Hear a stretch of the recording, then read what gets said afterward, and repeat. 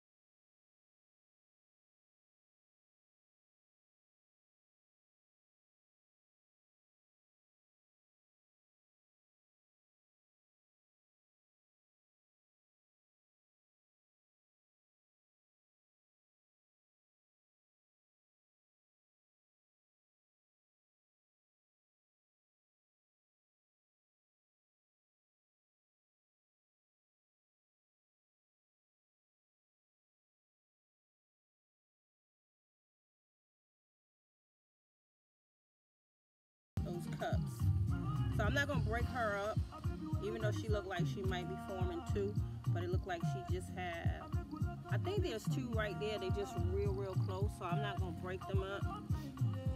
I'm just gonna loosen up the um, roots, and I'm, I'm gonna sit her right here, and I'm gonna show y'all something. These people selling these roots. Look at these raggedy roots. They never did nothing. The same thing happened to me last year. And I don't know if I'm getting the end of the, the root crop, but um, that's not the first time that happened to me last year too with these whack, I'm gonna say whack ass roots, bare roots. So, um, maybe I just need to be quicker about ordering them or something. I don't know.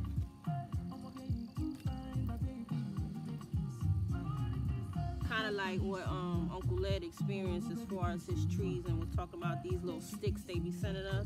I've experienced that too.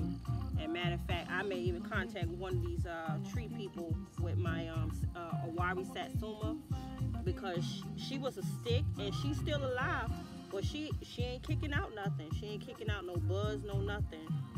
So get her a little further down in there.